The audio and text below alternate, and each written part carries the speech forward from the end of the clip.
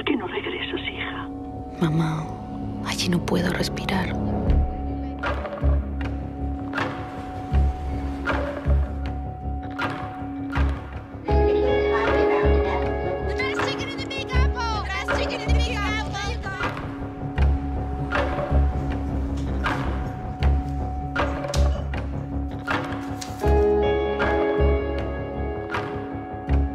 So I get a text from this woman I work for sometimes, mm-hmm. but I can't do it today.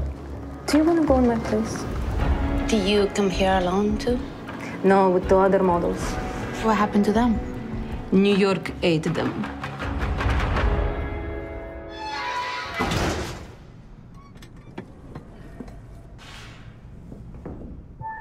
Take your place with the others. What the hell is this? You wanted money? Here you are.